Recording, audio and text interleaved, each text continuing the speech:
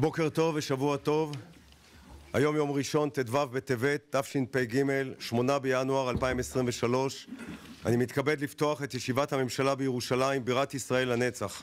הממשלה תדון היום בין השאר במינוי בעלי תפקידים בכירים במשרדי הממשלה ובנושאים שונים. אדוני ראש הממשלה בנימין נתניהו, בבקשה. בוקר טוב. בסוף השבוע משטר הטרור באיראן הוציא להורג שני אזרחים איראנים צעירים שהפגינו נגד עריצות השלטון. ישראל מגנה בתוקף רצח נפשע זה.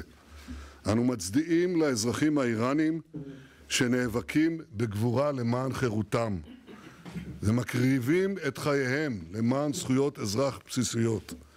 הם חושפים בפני כל העולם את פניו האמיתיות והמכוערות של משטר הדיכוי בטהרן, משטר שמאיים על אזרחיו, על מדינות האזור ועל שלום העולם כולו. אני אומר זאת כבר עשרים שנה, והיום לשמחתי יותר ויותר אנשים ויותר ויותר ממשלות ברחבי העולם מבינים זאת.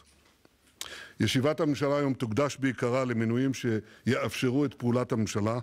השרים והשרות נכנסו למשרדיהם והם נחושים, כל אחת ואחד מהם, לקדם את המדיניות שלשמה נבחרנו. אבל כפי שאמרתי כאן לפני שבוע, אנחנו לא מחכים. בתחום המדיני, ביום חמישי התכנס הקבינט הביטחוני והחלטנו על שורה של צעדים נגד הרשות הפלסטינית שקידמה החלטה אנטי-ישראלית קיצונית באו"ם. הצעדים הללו כוללים סנקציות נגד בכירים פלסטינים, קיזוז כספי טרור והקפאת פרויקטים בחירה של בנייה פלסטינית בשטחי C, פרויקטים שמנוגדים להתחייבויות מפורשות שהרשות הפלסטינית נטלה על עצמה.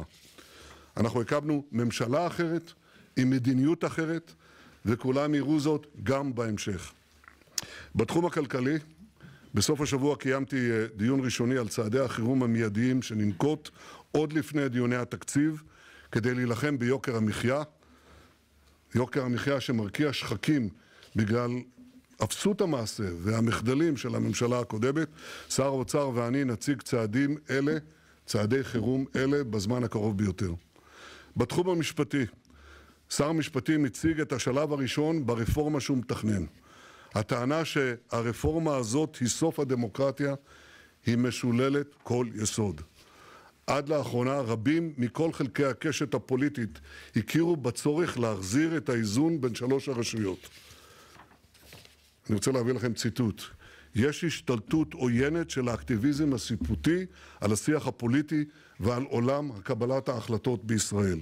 אלה לא מילים שלי, אלא של יאיר לפיד כשהיה שר אוצר ב-2014. הנה עוד ציטוט: האיזון בין הרשויות צריך לכלול פסקת התגברות והמילה האחרונה היא של הכנסת, כי הכנסת מייצגת את העם.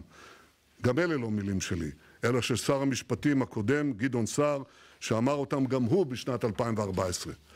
האמת היא שהאיזון בין הרשויות במערכת השלטונית הופר בשני העשורים האחרונים וביתר שאת בשנים האחרונות.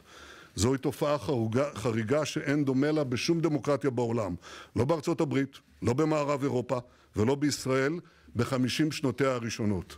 האם ישראל בחמישים שנותיה הראשונות, לפני המהפכה האקטיביסטית, לא הייתה דמוקרטיה למופת? האם ארצות הברית ומדינות מערב אירופה שאין בהן אקטיביזם שיפוטי מרחיק לכת כמו שלנו, אינן דמוקרטיות למופת היום?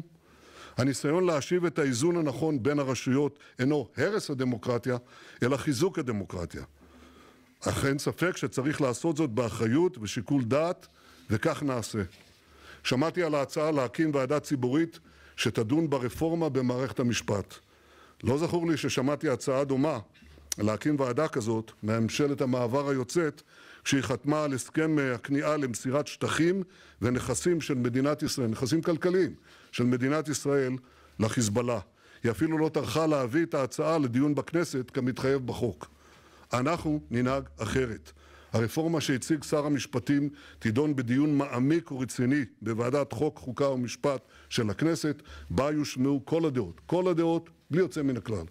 זהו הפורום המתאים, הטבעי והחוקי לדיון מעמיק זה. זוהי גם הזדמנות לומר דבר נוסף. אני לא יודע אם אתם ראיתם, אבל אני פשוט הזדעזעתי. ראיתי בסוף השבוע אה, כרזות שהשוו את שר המשפטים למנהיג הנאצים, דיברו על הרייך השישי, זוהי הסתה פרועה שעברה ללא שום גינוי מצד האופוזיציה או ערוצי התקשורת המרכזיים. יש לעצור זאת מיד, יש להוקיע את הדברים הללו בתוקף ובכל פה, ויש להתכנס לדיון רציני וענייני סביב הרפורמה, נוקב ככל שיהיה. ואני מבקש להדגיש, אנחנו קיבלנו מנדט ברור וחזק מהציבור כדי לבצע את מה שהבטחנו בבחירות, וכך נעשה. זהו מימוש רצון הבוחר, ומימוש רצון הבוחר זוהי מהות הדמוקרטיה. זוהי הדמוקרטיה המהותית.